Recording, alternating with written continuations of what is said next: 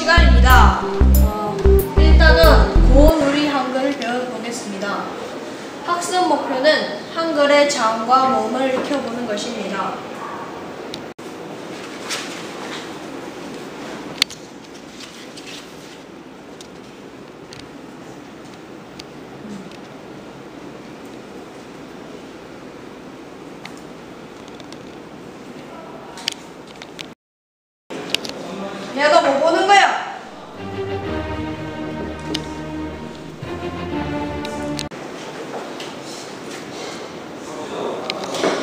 아, 엄마.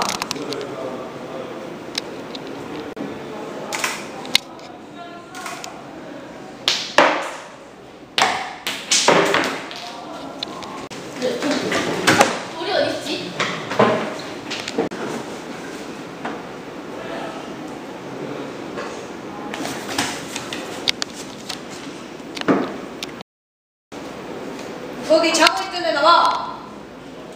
빨리 나와. 오빠 네 이제 마실 거예요 아, 모르겠습니다.